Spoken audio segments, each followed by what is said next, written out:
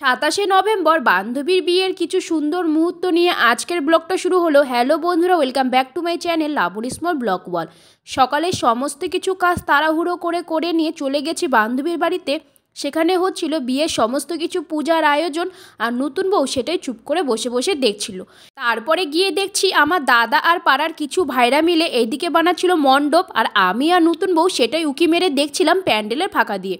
এখানে দেখতেই পাচ্ছ, মণ্ডপটা অনেকটাই তৈরি হয়ে গেছে এখনও কিন্তু অনেক কাজ বাকি। তারপরে জল ভরতে যাওয়ার জন্য শাড়ি পরে মেকআপ করে চলে এসেছি দুর্গার কাছে লিপস্টিক পরার জন্য। কারণ যখনই আমি রেডি হই না কেন, শেষমেশ দুর্গার কাছে আসি লিপস্টিক পরার জন্য। কারণ সে খুব সুন্দরভাবে আমাকে লিপস্টিকটা পরিয়ে দিতে পারে। তো এখানে দেখতেই পাচ্ছ, জল ভরতে যাওয়ার জন্য আমার সম্পূর্ণ লুকটা কেমন লাগছে অবশ্যই কমেন্ট করে জানাতে পারো। তো এখানে দেখতেই পাচ্ছ, সকলে মিলে বেরিয়ে পড়েছে জল ভরতে যাওয়ার জন্য। তো এক ভাইকে দিয়েছিলাম প্রথম থেকে শেষ অবধি ভিডিও করতে যাতে সকলকে খুব সুন্দরভাবে দেখানো যায়।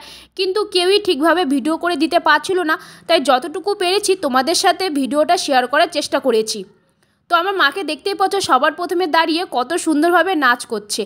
এত জনের মধ্যে তোমরা আমাকে খুঁজে পেলে কি না অবশ্যই কিন্তু কমেন্ট করে জানাতে পারো। আমি কিন্তু বেশি নাচ করিনি, কারণ আমার লজ্জা লাগছিল রাস্তার মধ্যে নাচ করতে। তো যাই হোক, এখানে আমরা সকলে হেঁটে হেঁটে নাচতে নাচতে চলে গেলাম জল ভরতে যাওয়ার জন্য। আগের ভিডিওটা যেহেতু ভালো হয়নি, তাই আরেক ভাইকে বলেছিলাম যে, প্রথম থেকে শেষ অবধি সকলের ভিডিও করবি। আর সেই ভাই তো আমার মুখের সামনেই ক্যামেরা এনে দাঁড়িয়েছিল। তো যাই হোক, তখন তো আমার খুবই লজ্জা লাগছিল। দেখতে দেখতে আমরা এক মায়ের মন্দিরের সামনে চলে আসলাম। তো সেখানে প্রথমে পূজা করা হচ্ছিল, সেটাই তোমাদের সাথে শেয়ার করলাম। আর অন্যদিকে দেখছি বুনুয়া তার বান্ধবী কত সুন্দরভাবে নাচতে নাচতে জল ভরতে যাচ্ছে। আমিও কিন্তু বুনুর মতো নাচতে পারিনি। তো যাই হোক, বুনুর নাচ তোমাদের কেমন লাগল অবশ্যই কিন্তু কমেন্ট করে জানাতে পারো। এইদিকে পাড়ার কাকি, বৌদি, দিদিরা কত সুন্দরভাবে নাচ করছে, এটাই কিন্তু বিয়ের সব থেকে সুন্দর মুহূর্ত।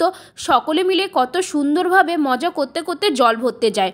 যাই হোক, সকলে মিলে নাচ করতে করতে, হাসি মজা করতে করতে আমরা চলে আসলাম দেবীরেঙ্গি মন্দিরের সামনে। তো এখানেও মাকে পূজা করা হচ্ছিল, তারপরে সকলে মিলে চলে গিয়েছিলাম নদীতে জল আনার জন্য। কদিন আগে যেহেতু ছট পূজা গেল, তাই নদীটা অনেকটাই নোংরা হয়ে আছে। তার মধ্যে এখানে বাচ্চারা নদীর মধ্যে নেমে জলটা আবারও ঘোলা করে দিয়েছে। এরপরে পূজা হয়ে যাওয়ার পরে একটা নিয়ম ছিল যে পাঁচজনে একসাথে মিলে কলসে জল তুলবে। সেই সময় আমাদের ছটপটি রানী কী করেছে সেটা এখনই দেখতে পারবে। তো এখানে দেখতেই পাচ্ছ, পাঁচজনে একসাথে মিলে দাঁড়িয়ে জল নেবে। সেই সময় আমাদের ছটপটি রানী সেটা তো বুঝতে পারেনি, তাই তাদের সাথে যোগদান করল যাতে পাঁচজন হয়ে যায় আর জলটা তারা নিতে পারে। তারপরে আমি যখন বললাম যে, ছাড়, পাঁচজন হয়ে গেছে, তোকে যোগদান করতে লাগবে না, তখন সে ছেড়ে দিল। আর এদিকে দেখতেই পাচ্ছ, পাড়াতে চলে আসলাম, আমাদের নতুন কোণে দাঁড়িয়েছিল আর সকলের ভিডিও করছিল। এরপরে শুরু হলো সকলের মিলে নাচ। তো দুর্গাকেও টেনে এনে এখানে নাচ করা হচ্ছিল আর তার মনের খুশিটা দেখতেই পাচ্ছ? ভালোবাসার মানুষটাকে যখন সে বাড়ির সকলের ইচ্ছেতে বিয়ে করতে পারছে, তখন তো খুশির লেভেলটাই আলাদা। জানি না এই দিনটা আমার কবে আসবে, যখন আমিও এইভাবে সুন্দরভাবে হাসি মজা করতে করতে সকলের ইচ্ছেতে বিয়েটা করতে পারব। তো যাই হোক, এখানে কাকি, বৌদি, দিদিরা সকলে মিলে নাচ করছিল। অন্যদিকে বাজনালা বলছিল, এবার থামো থামো, আমাদের কিন্তু হাত ব্যথা হয়ে গেছে, রাতে তো আবারও বাকি আছে। তো যাই হোক, এখানে এখন দুর্গাকে গায়ে হলুদ দেওয়া হবে। তো সেটারই সুন্দর মুহূর্ত তোমাদের সাথে ছোট্ট করে শেয়ার করলাম। তো তোমাদের কিন্তু ভিডিওটা কেমন লাগছে অবশ্যই কমেন্ট করে জানাতে পারো। আর দুর্গাকে অবশ্যই শুভকামনা জানিও যাতে সে তার বিবাহ জীবনটা খুব সুন্দরভাবে কাটাতে পারে।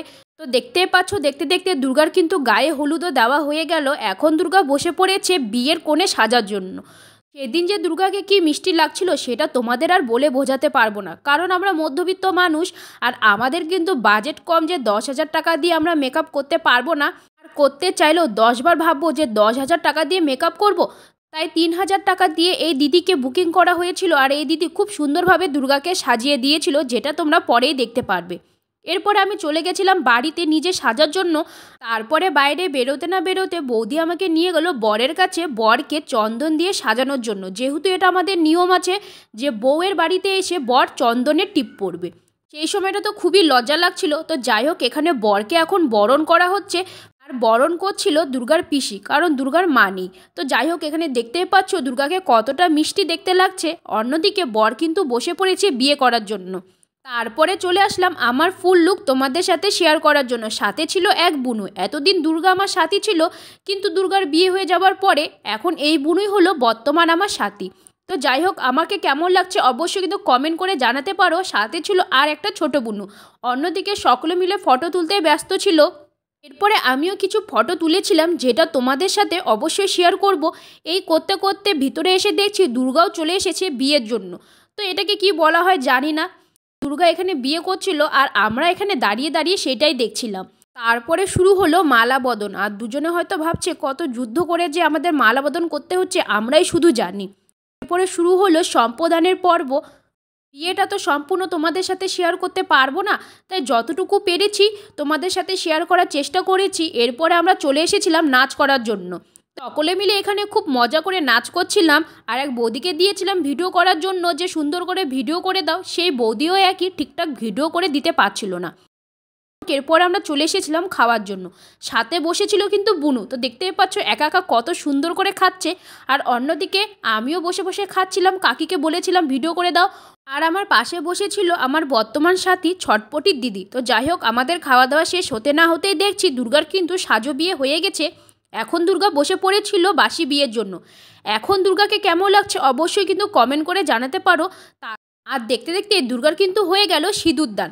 তো দেখতেই পাচ্ছ দুর্গাকে কতটা মিষ্টি লাগছে। সাজো বিয়েতেও যেমন মিষ্টি লাগছিল, বাসি বিয়েতে এমনকি সিঁদুরদানের পরেও খুব মিষ্টি দেখতে লাগছে। তারপরে দুজনের মিলে হচ্ছিল কড়ি খেলা। এরপরে আরেকটা বিয়ের পর্ব ছিল যে ঘাট পার করা। সেটাও একে একে হয়ে গেল।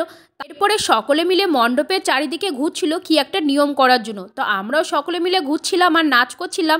তো এক ভাইকে দিয়েছিলাম যে, ভালো মতন ভিডিও করে দেখ কিন্তু কি আর বলব, কেউ আর ঠিক মতন সারাদিনে ভিডিও করে দিতে পারলোই না। তো এখানে দেখতেই পাচ্ছ, শেষবারের মতন দুর্গার সাথে একটা সুন্দর করে ভিডিও করে নিলাম। সাথে আছে আমাদের জামাইবাবু, যে খুবই লজ্জা পাচ্ছিল। অন্যদিকে আছে ছটপটির দিদি।